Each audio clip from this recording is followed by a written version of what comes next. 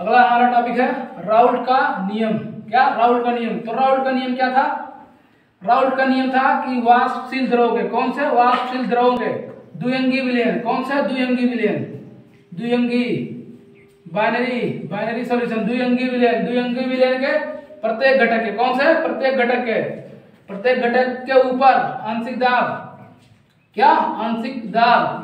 Partial pressure विलयन में उसके मोल प्रभाव मोल फ्रैक्शन, मोल अंश। मोल अंश के अनुक्रमानुपाती होती कहा? विलयन में। मोल प्रभाव कितना? विलयन में। मान लो ये क्या है? विलयन है। ये विलयन है। अब देखो क्या हुआ कि इसमें जो है, इसमें मिला दिए विलय और विलायक। विलय और विलायक। विलय और विलायक। और एक में एक बर्तन बनाए, एक कंटेनर है, जिसमें हम रख रहे हैं विलय क्या? विलायक। प्योर विलायक, शुद्ध, विलायक, खाली विलायक ठीक? उसके बाद दूसरे में रख रहे हैं विलय। क्या? विलय। दूसरे में विलय। शुद्ध विलय। अब राउल्स का नियम क्या कहना चाहता है? राउल्स का नियम यह कहना चाहता है कि जो विलयन के विलयन के प्रत्येक घटक का। विलयन विलयन में क्या क्या है? विलय है और विलायक है। तो विलय, विलयन के प्रत्येक घटक का। विलयन के प्रत्येक घटक का जो है आंशिक दाब। आंशिक दाब जो इसका कुछ, ये भी तो कुछ आंशिक दाब लगाएगा पार्शियल प्रेशर और इसका भी तो कुछ आंशिक दाब होगा। और इन दोनों के आंशिक दाब, इन दोनों का आंशिक दाब विलयन में उसके मूल अंश के अनुक्रमानुपाती होगा। तो मान लो अगर इसका जो आंशिक दाब है, विलय का, वो P1 है, कहा? विलयन में। और इसका इसका विलयन में मोल अंश कितना है? x1 विलय का कितना है? P2 और इसका, सॉरी प्रोपोर्शनल राउल के नियम से। उसके बाद इसका जो पार्शियल प्रेशर होगा, उस वो होगा विलायक के मूल अंश के अनुक्रमानुपाती। वो भी कहाँ? विलयन में। विलयन में जो जितना जितना ये विलयन में घुला है, क्या? जितना ये विलयन में घुला है, जितना विलयन में घुला है। यहाँ जो ऊपर चला गया, उससे नहीं पार्शियल प्रेशर हो जाएगा, ठीक है? जो आंशिक वाष्पदाब होगा, वो ये नहीं कि जो वाष्प बन गया उस, उसका। यहाँ जो विलयन में जितना मूल प्रभाव है, जितना मूल अंश है, विलय या विलयन। विलय या विलायक का विलायक का जितना विलयन में मूल अंश है, उसके अनुक्रमानुपाती होता है। अब देखो, अगर शुद्ध विलय का, शुद्ध विलय का वाष्प दाब हम मान ले पी नॉट वन क्या?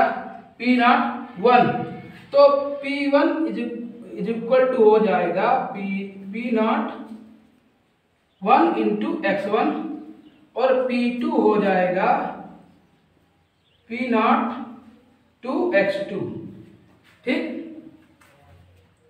अब ये हो जाएगा प्रेशर ठीक? आंशिक आंशिक वाष्पदा अब विलय जो है, विलय विलय ये कितने टाइप्स का हो सकता है? विलय और विलायक। अब विलय जो है, एक हम ले सकते हैं। का वाष्पशील मतलब उड़ने वाला, और एक होगा जिसके पास पंखे नहीं होगा, का आवाष्पशील एक आवाष्पशील विलय और एक वाष्पशील विलय और जो विलायक होगा, ये वाष्पशील क्या? वाष्पशील होगा। अब देखो, अब मान लिया कोनो सॉल्यूशन बना दिए हम। क्या बनाए? विलयन क्या बना रहे हैं वो विलयन अब विलय विलयन जब बना रहे हैं तो इसमें मान लो हम जो विलय मिलाए हैं, जो विलय है, ये विलय के कण हो गए मान लिया। ये विलय के कण हैं विलय है, ये क्या है? अवाष्प, अवाष्पशील विलय है। अवाष्पशील विलय अवाष्पशील विलय है। अब अवाष्पशील विलय होगा अवास अवाष्पशील विलय होगा तो वेपर किसकी बनेगी? किसका किसका वाष्प बनेगा? सिर्फ़ विलायक का। किसका बनेगा? सिर्फ़ विलायक का। वाष्प किसका बनेगा? सिर्फ़ विलायक का। ही उड़ेगा ना, खाली विलायक क्या उड़ेगा। और विलय थोड़ी ना उड़ पाएगा, अगर बात तो पंखा नहीं है। अब क्या उड़ेगा? ठीक है? तो जो वाष्प विलायक है, वो उड़ जाएगा और ये विलय जो है, ये नहीं ये इसी में रह जाएगा। अब देखो, एक बात और। एक बात और। मान लो ये कोई प्योर क्या था? प्योर क्या था? विलायक था। क्या? विलायक। अब ये प्योर विलायक है। अब जब ये प्योर विलायक है तो मान लिया इसका जो प्रेशर है वेपर प्रेशर जो वाष्प दाब है, मान लो ये उड़ रहा था, बहुत उड़ रहे हो, बहुत उड़ रहा था, ठीक है? क्या बहुत उड़ रहा था। अभी बहुत उड़ रहा है। अब कहा कि इसमें तुम विलय भी मिला दिए। कौन सा विलय? कोई भी विलय वाष्पशील या अवाष्पशील ठीक है? तो जो ये देख रहा है तो उड़ रहा है। अब जब इस मतलब मान लो ये अवाष्पशील है तो ये खुद नहीं उड़ पाएगा। तो कहा हम तुमको भी उड़ देंगे। तो इस रास्ते में जो है लो हड़ताल कर जामे करेंगे। ठीक है? अब जो है अब इसको निकलने के लिए जगह भी कम पड़ेगा। तो जो ये प्योर था पी नॉट ए ये क्या हो जाएगा? बड़ा हो जाएगा P nought P nought B मतलब जब विलय मिलाया तो इससे बड़ा हो जाएगा। जो पहले प्योर था, शुद्ध विलायक का था, वो जो आवासशील विलय मिलाया गया तो विलायक का जो आंशिक वाष्प दाब था, वो क्या हो जाएगा? कम हो जाएगा। अब कोई पड़ोसी को देखना तो चाहता नहीं। ठीक? तो ये देख रहा है अच्छा तुम बढ़ रहे हो, क्या? बढ़ रहे हो। तो ये, ले, हम तो रास्ते में जाम कर देंगे। ठीक? तो ये उड़ने ही नहीं देगा इसको। ठीक है? अब देखो, अगर अगर आवासशील विलय है, क्या आवासशील विलय है तो पी ऑफ़ सॉल्यूशन सॉल्यूशन का आंशिक वाष्प दाब क्या होगा? P of solution P of solution क्या होगा? Mole fraction of solvent solvent into partial pressure of मतलब वेपर प्रेशर ऑफ़ इसका विलायक का, ठीक? विलायक का पी ए और जो विलायक का मोल अंश होता है विलायक का मोल अंश और प्लस विलय का मोल अंश, ये कितने के बराबर होता है? ये तुम्हारा बराबर होता है बाबू किसके? एक के। तो एक्स ऑफ़ सॉल्वेंट या विलायक क्या हो जाएगा? वन माइनस एक्स ऑफ़ विलय मतलब मोल फ्रिक्शन ऑफ़ विलय। तो इसके जगह पर सब्सटीट्यूट करने पर क्या मिलेगा? पी ऑफ़ सॉल्यूशन बराबर क्या हो जाएगा? One minus X of solvent X नहीं मतलब मोल फ्रिक्शन ठीक है? सॉल्वेंट जबान फिसल जाती है, ठीक है? P solution into P nought A ये वाष्प आवाष्पशील के लिए हो गया।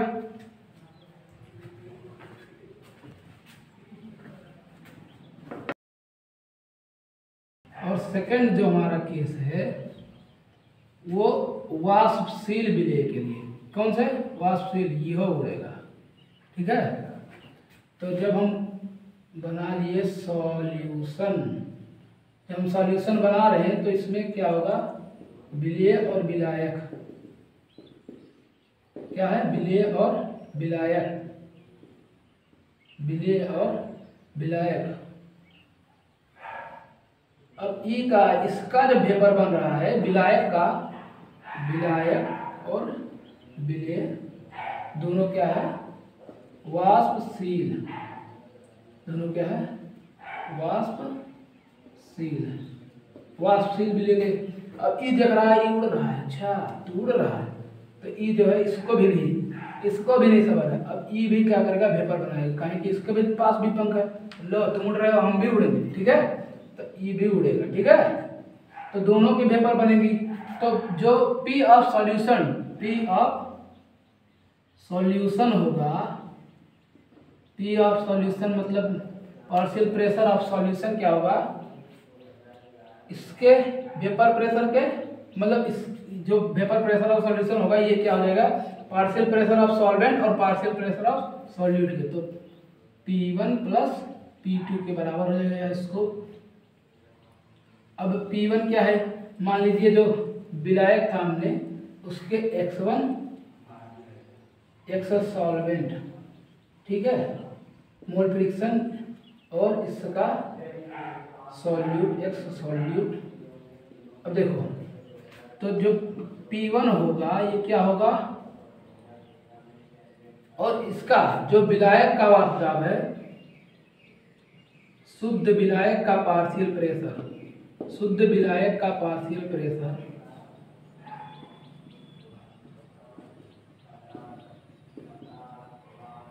शुद्ध विलायक का जो पार्शियल प्रेशर होगा, शुद्ध विलायक का पार्शियल प्रेशर होगा P not one.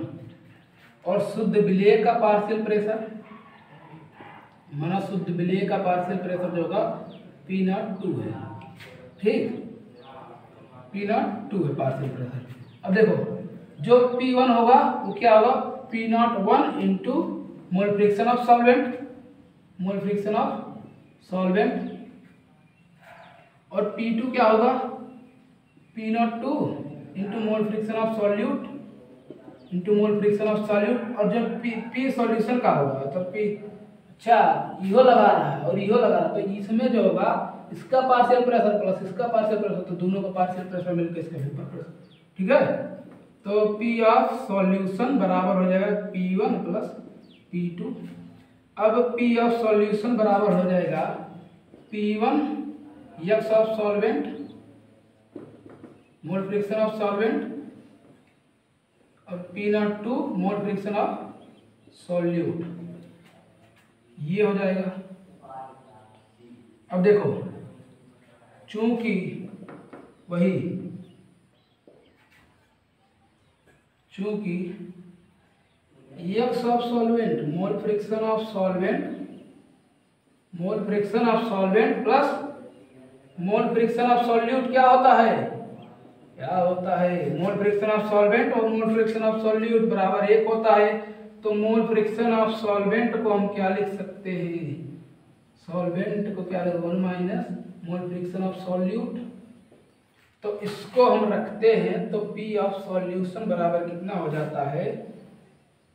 P nought one into one minus mole fraction of mole fraction of solute विलय के, विलय का मोल अंश और प्लस क्या होगा? पी नॉट टू इंटू विलय का मोल अंश ठीक? अब देखो पी सॉल्यूशन क्या हो जाएगा? P nought one. और यहाँ से हम क्या ले सकते हैं, common? Mole fraction of solute. तो कितना बचेगा? क्या आएगा? P nought two minus P nought one अब ये हो जाएगा फॉर्मूला। ठीक?